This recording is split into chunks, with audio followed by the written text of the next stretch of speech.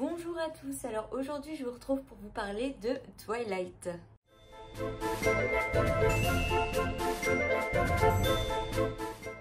Alors vous le savez peut-être mais pas forcément, récemment donc en août 2020, euh, Stephanie Meyer, donc euh, l'auteur de Twilight, a écrit un cinquième tome qui est en fait le premier tome mais du point de vue d'Edward.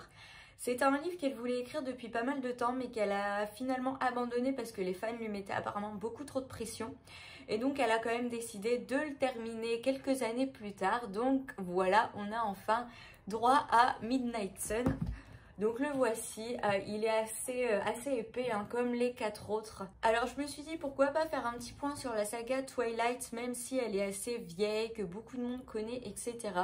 Je me suis dit que je pouvais vous parler un petit peu des quatre premiers tomes et comme ça, ça me permettrait ensuite de vous présenter le cinquième et de vous dire ce que j'en ai pensé. Alors quand j'ai relu euh, les quatre premiers, j'ai trouvé ça juste incroyable parce qu'en fait moi les Twilight je ne les avais pas lus, je n'avais vu que les films en fait et euh, quand j'ai commencé à lire, j'ai juste adoré retrouver les histoires qui ont un petit peu bercé toute mon adolescence, hein, Edouard, Jacob et Bella.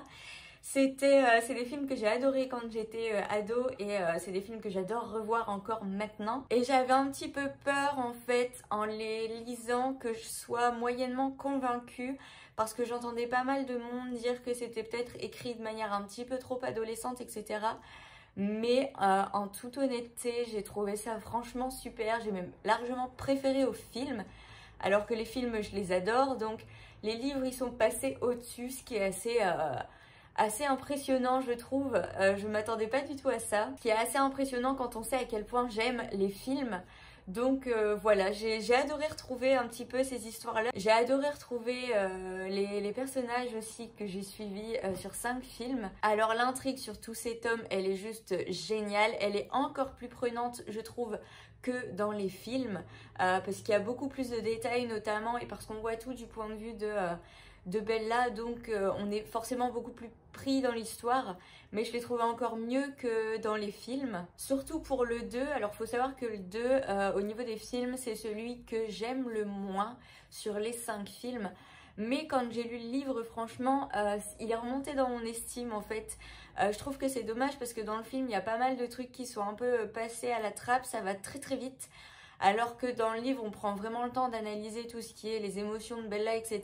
Et j'ai trouvé ça quand même beaucoup plus intéressant que dans le film. Enfin bref, il y a beaucoup de petits détails dans les livres que j'ai adoré qui ajoutent de l'intensité.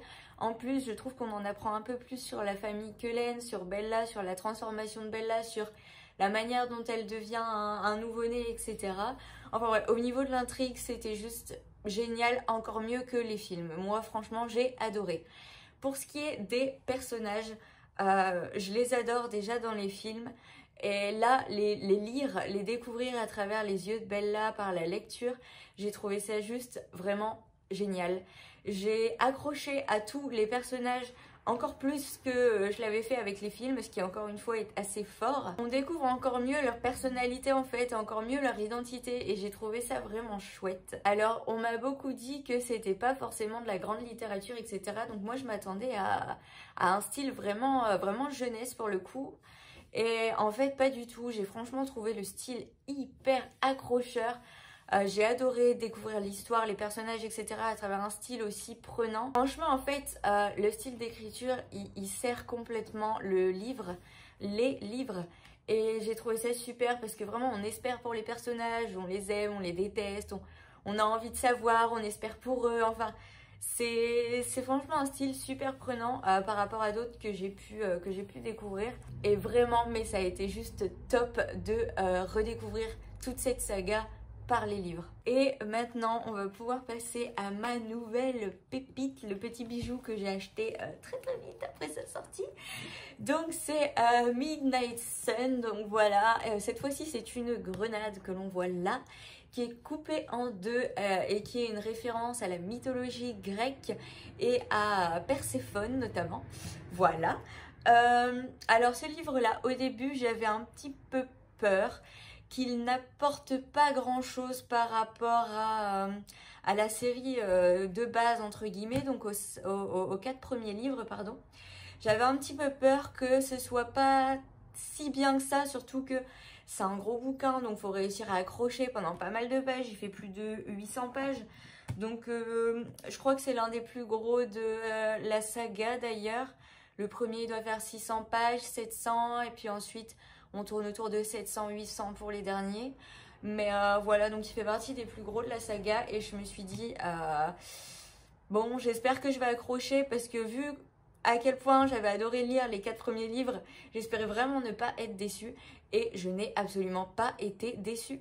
Ça a été un vrai plaisir de tout découvrir à travers les yeux d'Edouard parce qu'il y a plein, plein, plein, plein de choses, même si Bella, elle les devine, mais elle, en, passe les trois quarts en fait. Elle n'arrive pas à tout deviner forcément. Et c'est assez chouette d'être dans la tête d'Edouard, surtout qu'on en apprend beaucoup plus sur son passé, parce que souvent il se perd dans ses pensées, il repense à son passé, etc. Donc on, en apprend plus sur la transformation d'Emmet, par exemple, on en apprend plus sur euh, sa vie avant avec Carlyle, sur les autres vampires, etc. Enfin bref, ça apporte vraiment quelque chose au niveau de l'intrigue.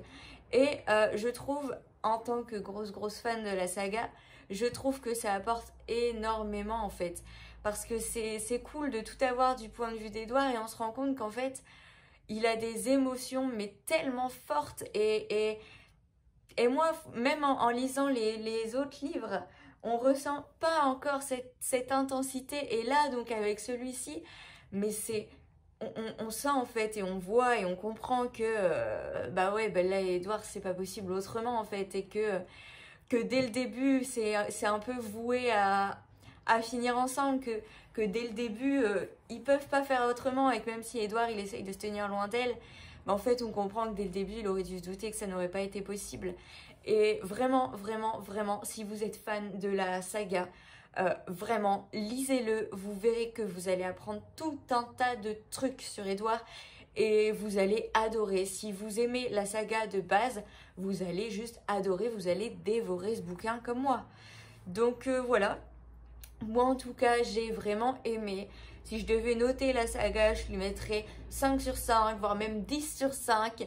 Euh, j'ai vraiment vraiment adoré, c'est un, de mes, un de mes coups de cœur et je comprends pas pourquoi je ne les ai pas lus avant, j'ai envie de me foutre des baffes pour ne pas avoir pensé à les lire avant parce que, mais vraiment, c'est, euh, j'ai adoré. Dites-moi ce que vous en avez pensé si vous l'avez lu.